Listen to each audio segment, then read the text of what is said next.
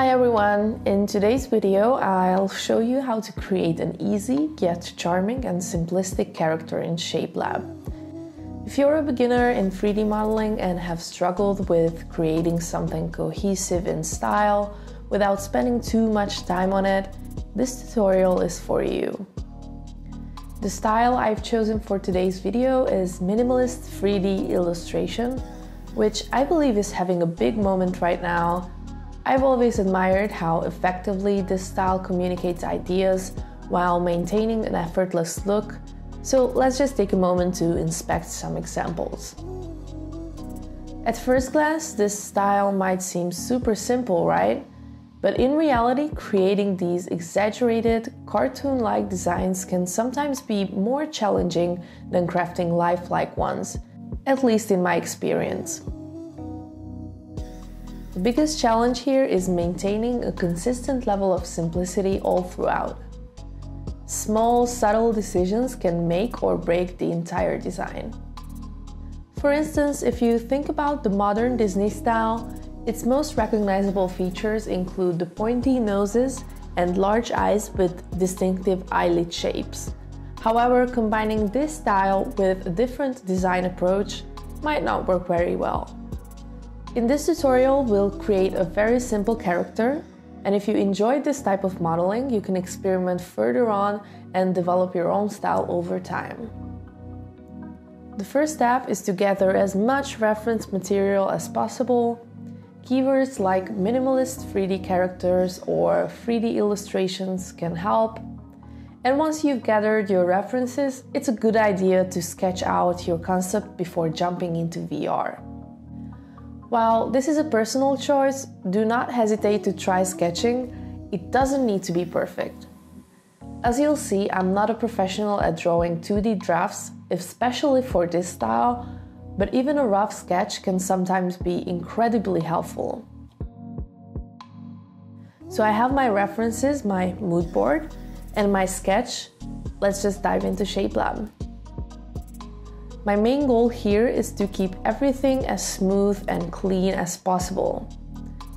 I'm not too concerned about topology here, but I will try to keep a low poly count. I typically start my sculpts with the head, and this time is no different. The first thing I do is turn off dynamic resolution to help maintain smoothness.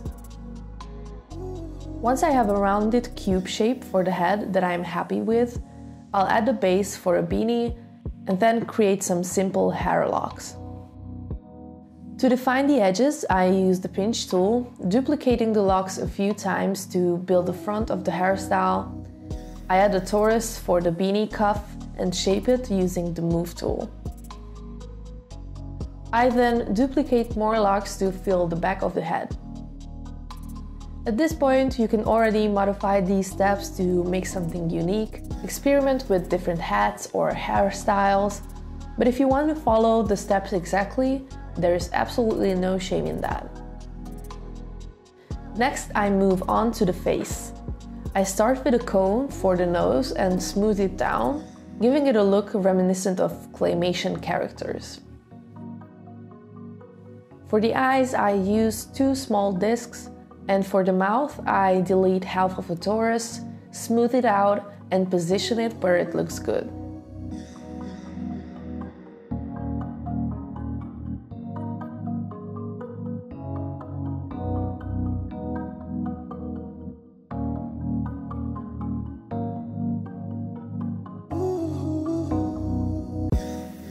For the ears, I carve out the center of a disc shape and place it on each side of the head.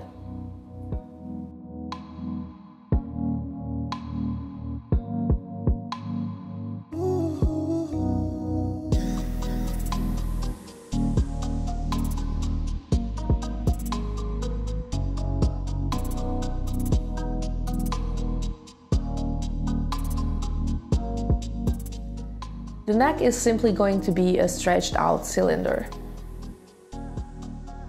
By now, you should have a clear sense of where this is going. Uh, the key is to use basic shapes for each part of the model and modify them as little as possible.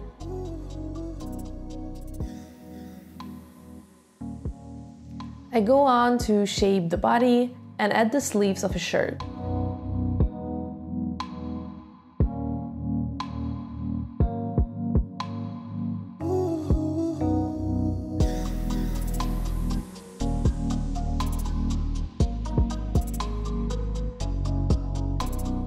I duplicate the body base and make it a little bit bigger.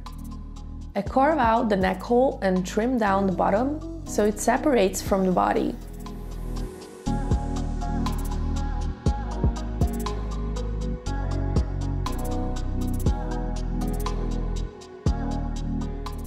For the pants, I add a rounded cube shape and a cylinder for the leg that I'll mirror onto the other side.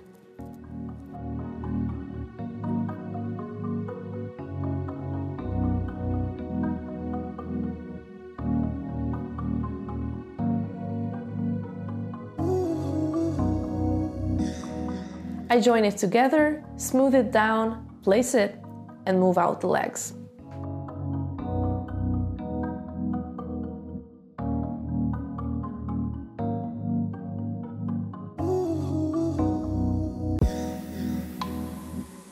I accidentally didn't record the part where I made the hands, but I'll try to explain what I did here. So I added another block with rounded edges and put the four longer ones that look like sausages on top of it.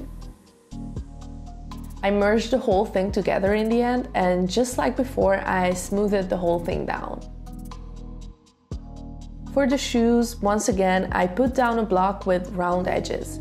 I keep on using the same principle in order to keep the model cohesive, uh, but the shoe part especially can be a bit tricky I was thinking of the least amount of shapes that could get me something recognizable, so I made three stripes for the top and modified the torus to fit the bottom shape.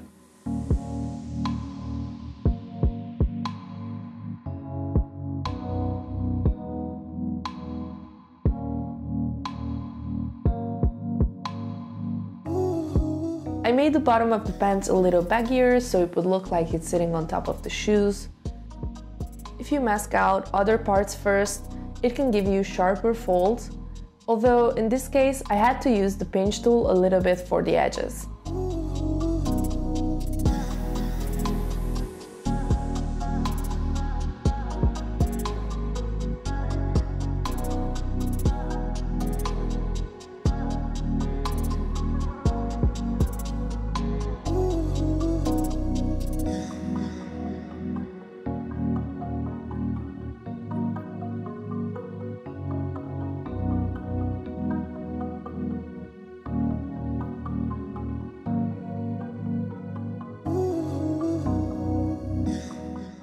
So coloring is the only thing left. There is no special thing to consider here, I just used the color combination I felt was fitting. This is another stage where you can customize your model. I used the paint bucket tool to fill all of the objects one by one. For a waxy looking figure, use a higher roughness value, but maybe not totally high. And there you have it. You've created your first minimalist character in ShapeLab. I hope you enjoyed this tutorial and I hope it was something you could easily follow if you're new to all of this. And I challenge all the pros to do something like this for fun. Please feel free to share your thoughts down in the comments and we welcome all of the results on our Discord channel. Thank you for watching and see you in the next one.